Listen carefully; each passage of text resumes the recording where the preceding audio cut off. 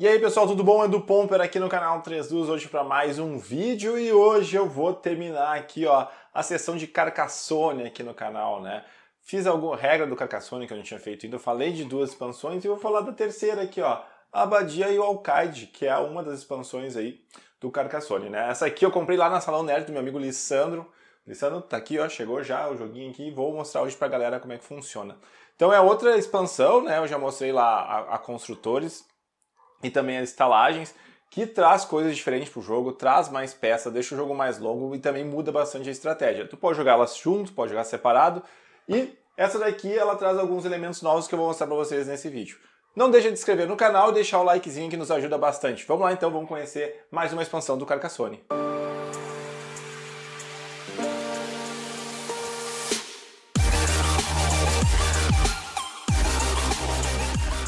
Esse vídeo tem o apoio do Salão Nerd, a loja de Bagé que entrega seu presente em qualquer lugar. Muito bem, pessoal. Como de praxe, uma coisa que é clássica nas expansões do Carcassonne é que vem mais peças de terreno e algumas diferentes, né? Então, por exemplo, essa daqui, ó, é uma cidade que ela tem um túnel ali, ó. Tá vendo? essa estrada aqui, ela não termina, ela passa pela cidade. Então, tô colocando aqui, tu vai continuar a estrada. Achei bem legal essa peça aqui. Ainda com estradas, ó, essa daqui, ó, parece uma intersecção de estradas, mas na verdade não, né? Ela é uma intersecção, na verdade, né? Mas ela não, a estrada não termina, ela continua ali, né? No sentido que quiser. Deixa eu ver o que mais. Olha que legal essa cidade. São duas cidades na cartela. E aí tem uma ponte, ó. Então, onde é que tá a ponte? Tá aqui, ó. Tá liga... Essa aqui tá ligada do outro lado pela ponte. É a mesma cidade. Achei bem bacana também. Aparece essa cartela. É uma cartela que quando aparece no fim do, do, do jogo é difícil, mas essa aqui é a única cartela que eu vi que tem dois escudos por enquanto nas expansões, ó. Numa mesma cartela de cidade, dois escudos. Bom, aí também tem essa outra aqui, ó, que também tem uma pontezinha ali, a cidade termina no campo ali onde tem a ponte, tá?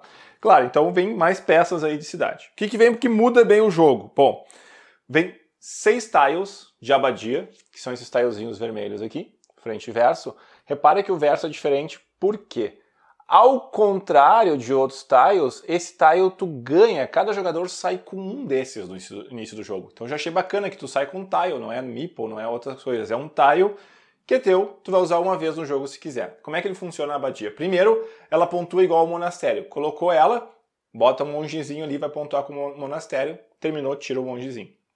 Só que tem um detalhe tu só pode colocar ela num buraco. Como assim um buraco? Sabe aquelas coisas que não deveriam acontecer no Carcassonne, mas é raro e acontece quase sempre, que é tu planejar mal, o teu adversário começar a te quebrar e tu ficar com um buraco. Tu tem as oito peças em volta e falta só a do meio, né?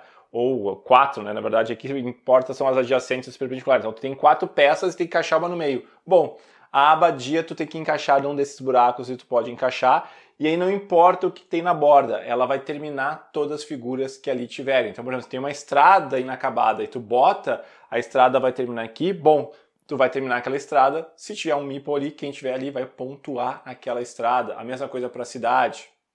Então, é uma cartela que tu vai usar, tentar usar, porque ela te dá pontos, né, como monge, e também tu vai tentar te salvar daqui a pouco se alguma coisa que tu planejou mal e não deu muito certo, tá?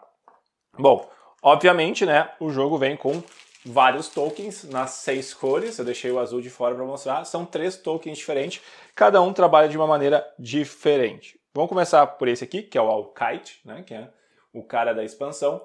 Ele é um meeple um pouquinho diferente dos outros, aqui embaixo parece que é mais larguinho, né, tem como se estivesse usando quase uma calça mais larga, alguma coisa assim. Como é que ele funciona? Ele funciona igual um outro meeple, só que tu coloca eles nas cidades. E aí ele, ele ajuda naquela parte ali do controle de área, por quê?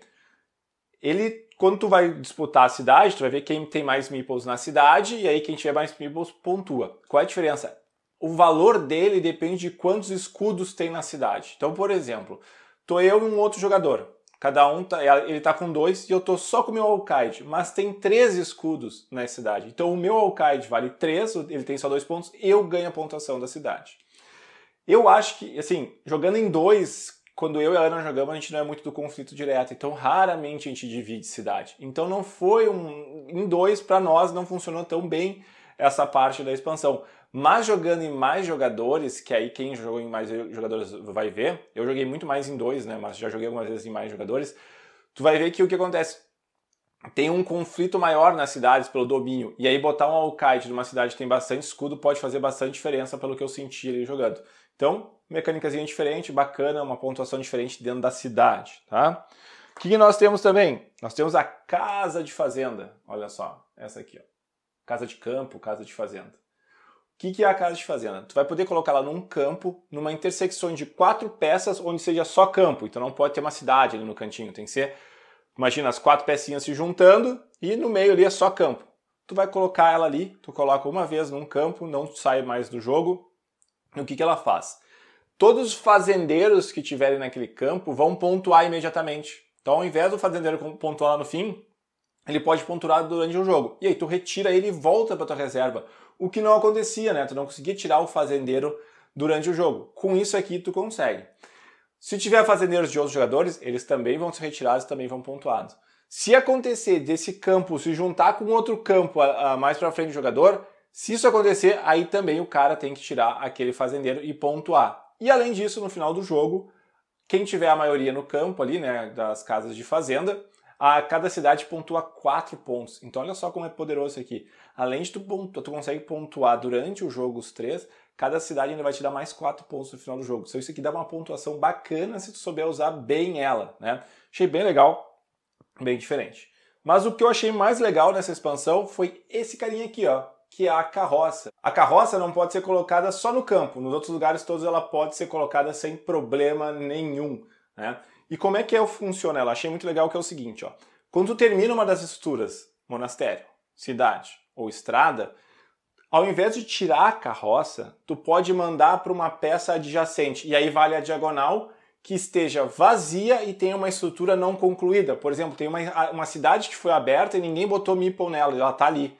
Tu pode tocar direto a carroça para aquela cidade. Tem uma estrada que ninguém está pegando ela, tu pode tocar a carroça para aquela estrada também.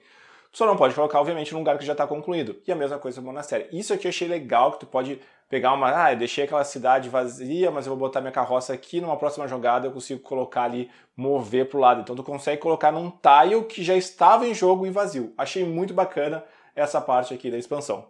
E é isso. Essa é a expansão da Abadia do Alcade. Vê que traz novas mecânicas, novas estratégias. Misturar todas elas deixa o jogo bem diferente. Então, se tu quer dar uma renovada no Carcassonne quer ver estratégia diferente, recomendo aí muito as expansões. Tanto essa como as outras. Já fiz review delas, vou deixar os cardzinhos aí em cima para vocês irem lá ver os vídeos das outras expansões. Certo, galera? Valeu, até mais, aquele abraço!